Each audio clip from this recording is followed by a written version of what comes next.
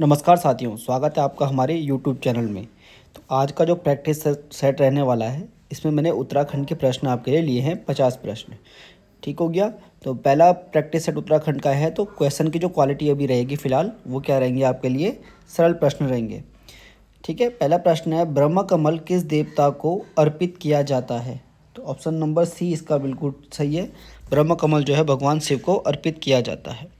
प्रश्न नंबर दो है, उत्तराखंड का नाम, उत्तरांचल का नाम उत्तराखंड कब किया गया था? तो ऑप्शन नंबर बी सही हो जाएगा, एक जनवरी 2007 को किया गया था, ठीक है? तीसरा प्रश्न है चांदपुर गढ़ का राज्य स्थित था। तो चांदपुर गढ़ कहाँ था आपका? चमोली में था और यहीं से क्या था? जो आपका पमार या परमार वंश है, वो प्रारंभ हुआ था। चौथा प्रश्न है, सल्ट की घटना किस वर्ष हुई थी? तो सल्ट की घटना पाँच सितंबर 1942 को हुई थी और सल्ट को ही क्या कहा जाता है? कुमाऊँ का बारदोली कहा जाता है। कुमाऊँ गढ़वाल का बारदोली आपको पता है गढ़वाल का बारदोली पूछा जाएगा तो आप क्या बोलेंगे? सॉरी गुजड़ू, गढ़वाल का बारदोली हो जाएगा। ठीक है? अगला पांचवा प्रश्न है, सकलाना विद्रोह कहाँ घटित हुआ था? सकलाना विद्रोह कहाँ हुआ था? टिहरी में हुआ था। ठीक हो गया? चलिए, छठवां प्रश्न है, निम्न में से कौन सी नदी हिमनद से नहीं निकलती? यमुना यमुनोत्री ग्लेशियर से निकलती है अलगनंदा सतोपन से निकलती है, मंदाकिनी आपका चौरावाड़ी ग्लेशियर से निकलती है। जो आपका कौशिनी कोसी नदी जो है आपका, ये हिमनद से नहीं निकलती है, बल्कि ये बागेश्वर में आपका धार पानी धार नामक स्थान से निकलती है। कहाँ से? धार पानी धार नामक स्थान से निकलती है। ठीक, अगला सातवां प्रश्न है सुंदर ढूँगा हिमानी उत्तराखंड के किस जनपद में स्थित है? सुंदर ढूँगा कहाँ पर है आपका? बागेश्वर में। मैकातोली हो गया आपका, कफनी हो गया, पिंडारी हो गया, है ना? पिंडारी तो खैर चमोली, बागेश्वर और पिथौरागढ़ तीनों जगह है। मैकातोली हो गया, कफनी हो गया सुंदर ढूँगा हो गया, सारे कहाँ हैं? बागेश्वर में। उत्तराखंड राज्य का शैक्षणिक अनुसंधान एवं परिषद परीक्षण परिषद कहाँ पर है, जिसको आप एस सी आर टी बोलते हैं ना? एस टी है ना? तो ये पहले कहाँ पर था? पहले नरेंद्र नगर में था, लेकिन वर्तमान में कहाँ पर है ये? देहरादून में है।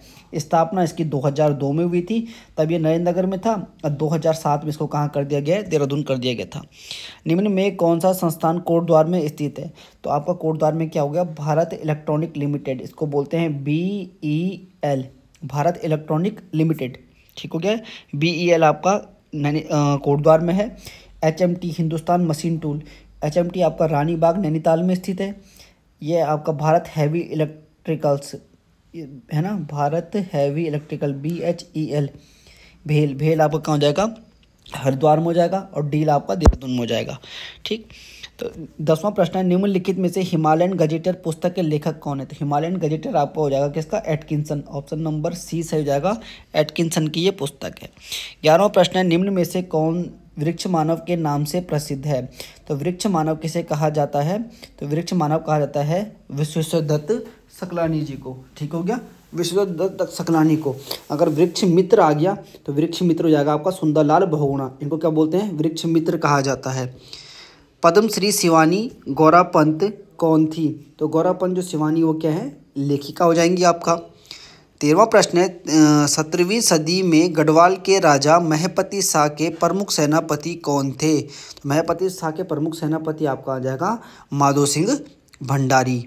अगला प्रश्न है, निम्नलिखित में से चंद्र सिंह गढ़वाली का वास्तविक नाम क्या था? चंद्र सिंह गढ़वाली का वास्तविक नाम था चंद्र सिंह भंडारी।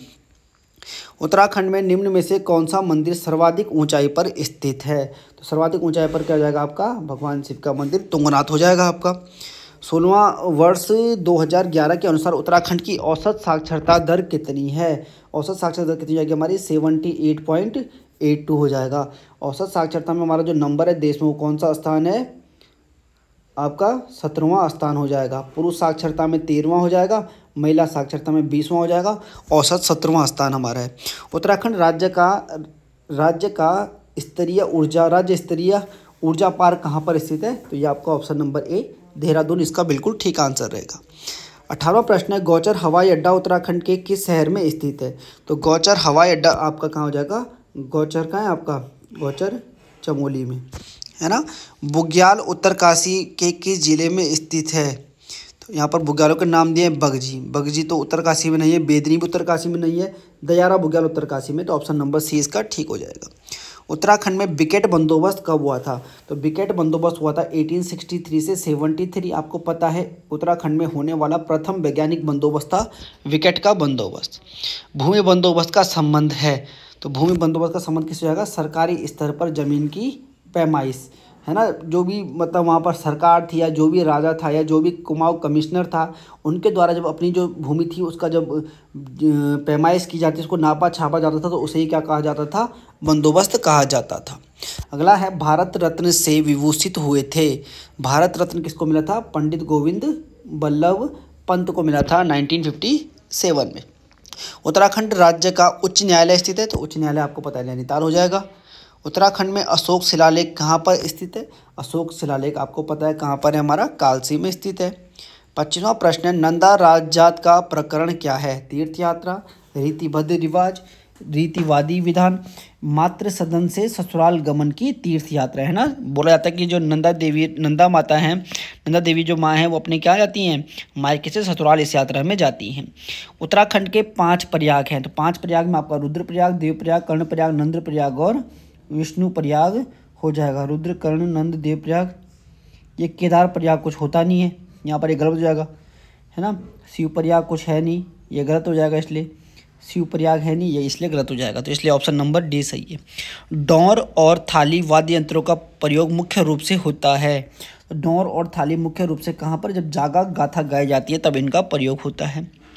किसको टेरी रियासत से राजतंत्र का राजतंत्र का अंत करने का श्रेय जाता है। तो आपको पता है, श्रीदेव सुमन को टीरी रियासत से राजतंत्र को हटाने का क्या जाता है, श्रेय जाता है। अल्पना क्या है? अल्पना जिसको आप एपन भी बोल सकते हैं तो ये क्या है? एक प्रकार के लोक चित्र होते हैं। उत्तराखंड की दूसरी सबसे अधिक जनसंख्या वाली जनजाति है। तो पहली आपको पता है, थारू है, दूसरी कौन सी हो जाएगी? जौनसारी। और गढ़वाल की सबसे बड़ी अगर पूछ जाएगा तो कौन सी आ जाएगी? जौनसारी आ जाएगी। इकतीसवां प्रश्न है, निम्न में से जौनसारी नृत्य नहीं है। रासो भी है, बराड़ी, ठुमकिया, ये भी है। झुमैलो, लेकिन जौनसार का नहीं, बल्कि पूरा गढ़वाल का नृत्य है। पाताल भुवनेश्वर गुफा स्थित है तो पाताल भुवनेश्वर आपका कहाँ पर हो जाएगा? पिथौरागढ़, ऑप्शन नंबर बी, इसका बिल्कुल सही आंसर रहेगा भाई। तैतीसवां प्रश्न है, नंदा देवी मंदिर है। तो नंदा देवी मंदिर आपका अल्मोड़ा में स्थित हो जाएगा। ऑप्शन नंबर डी इसका सही रहेगा। थर्टी फोरवा प्रश्न है गैरसैन को ग्रीष्मकालीन राजधानी कब घोषित किया गया? तो आपका सीधा सीधा आंसर हो जाएगा 2020 में इसको घोषित किया गया था। थर्टी फाइववा प्रश्न हमारे पास है, कुमाऊं साहित्य के प्रथम कवि कौन है? तो गुमानी पंत, कवि गुमानी पंत को क्या माना जाता है? कुमाऊं साहित्य का प्रथम कवि माना जाता है। थर्टी सिक्सवा प्रश्न है हमारे पास, इंचारी बाँध परियोजना किस नदी पर स्थित है? इचारी बाँध आपका देहरादून में पड़ता है और ये किस नदी पर स्थित है? टोंस नदी ऑप्शन नंबर सी आपका बिल्कुल सही प्रश्न हो जाएगा। थर्टी सेवनवा प्रश्न हमारे पास है, उत्तरांचल राज्य के निर्माण के समय केंद्र में किस पार्टी की सरकार थी? पहला ऑप्शन है संयुक्त प्रगतिशील गठबंधन, भाजपा। ऑप्शन नंबर सी यहाँ पर होना चाहिए तो ऑप्शन नंबर सी क्या हो जाएगा? राष्ट्रीय जनतांत्रिक गठबंधन, ये आपका बिल्कुल सही रहेगा। क्वेश्चन नंबर थर्टी एट हमारे पास है। नालंदा अभिलेख में बंगाल के इक्कीस पाल शासक ने गढ़वाल क्षेत्र पर आक्रमण किया था। नालंदा अभिलेख के अनुसार आपका पाल शासक धर्मपाल के द्वारा इस गढ़वाल क्षेत्र पर आक्रमण किया गया था। Question number thirty nine Katyuri की दरबारी भाषा क्या थी? तो कत्यूरी की जो दरबारी भाषा थी, वो संस्कृत थी और आपका जो उनकी आम बोलचाल की भाषा थी तो वो क्या हो जाएगा? पाली भाषा हो जाएगी, है ना? अल्मोड़ा ज़िले में स्थित खगमरा किले का निर्माण किसने कराया था? तो खगमरा किले का निर्माण किसने कराया था? भीष्मचंद के द्वारा करवाया गया था। इकतालीसवां प्रश्न है, किस प्राग ऐतिहासिक स्थल के शैल चित्र में योग मुद्रा में मानव का चित्रण मिलता है? तो योग मुद्रा फल सीमा अल्मोड़ा से मिला है हमको, है ना? अब आप लोग कभी कभी क्या करते हैं, क्वेश्चन पूरा नहीं पढ़ते आपने फल सीमा ए में देखा, ए ही मार दिया। नहीं, पूरा क्वेश्चन पढ़ना है फल सीमा अल्मोड़ा, सारे क्योंकि फल सीमा ही लिखे हुए हैं। ठीक हो गया। क्वेश्चन नंबर बयालीस है, इतिहासकार लक्ष्मी दत्त जोशी के अनुसार कार्तिकेयपुर मूलतः माने जाते हैं। तो कार्तिकेयपुर वालों को ये मूलतः अयोध्या का निवासी मानते हैं। ऑप्शन नंबर डी बिल्कुल सही रहेगा। फोर्टी थ्री है गैरसैन चमोली राज्य विधानसभा की प्रथम बैठक कब हुई थी? तो ये आपका 9 से 11 जून 2014 को आयोजित हो गई थी। ऋग्वेद में उत्तराखंड क्षेत्र के लिए कहा, क्या कहा गया है? तो यहाँ पर ऋग्वेद में देवभूमि या मनुष्यों की भूमि कहा गया है। ऑप्शन नंबर फोर्टी फाइव रहेगा, गढ़वाल सर्व दलित परिषद का गठन 1928 में किसके द्वारा किया गया था? तो ये किया गया था आपका option number B, Jayanand Bharti के द्वारा। क्वेश्चन नंबर फोर्टी सिक्स है, पुराणों के अनुसार मानव की आदि पूर्व मनु का निवास स्थान और धन के देवता कुबेर के राजधानी बद्री बद्रिक आश्रम के पास किस स्थान पर थी? तो ये थी आपका कहाँ पर? अलकापुरी में। किस परमार शासक ने मुगल दारा सिको के पुत्र सुलेमान सिको को संरक्षण दिया था? तो जाएगा option number A, Prithvipati Shah. Prithvipati Shah के बेटे जो मेदनी शाह थे, उनके द्वारा ही बाद में सुलेमान सिको को पकड़ाया गया था। इसलिए मेदनी शाह को ही क्या कहा जाता है? बहादुर पिता की डरपोक संतान। फोर्टी एटवा प्रश्न है बाड़ावाला यज्ञ वेदिकाओं का निर्माण किस राजा के द्वारा कराया गया था? तो बाड़ावाला में यज्ञ वेदिकाओं का निर्माण जो करवाया गया था, वो किसने करवाया था? सील वर्मन के द्वारा करवाया गया था। क्वेश्चन नंबर फोर्टी नाइन है टीरी गढ़वाल में ढांडक आंदोलन संबंधित था। ढांडक आंदोलन जो संबंधित था, ये आपका मजदूरों से संबंधित आंदोलन था। ऑप्शन नंबर ए इसका बिल्कुल सही रहेगा। क्वेश्चन नंबर पचास है, बौद्ध धर्म का विरोध करने वाला प्रथम कत्यूरी शासक था। तो बिल्कुल कौन हो जाएगा? भूदेव। ये बौद्धों का क्या बोला जाता है? कट्टर विरोधी कहा जाता है भूदेव को। तो ये थे उत्तराखंड के आज पचास प्रश्न। जिसने भी पूरा पेपर सॉल्व किया है तो वो ज़रूर क्या करें? अपने नंबर कमेंट बॉक्स में टाइप करें, हमारे ग्रुप में भी और यूट्यूब में भी, है ना? आज की वीडियो में इतना ही। धन्यवाद।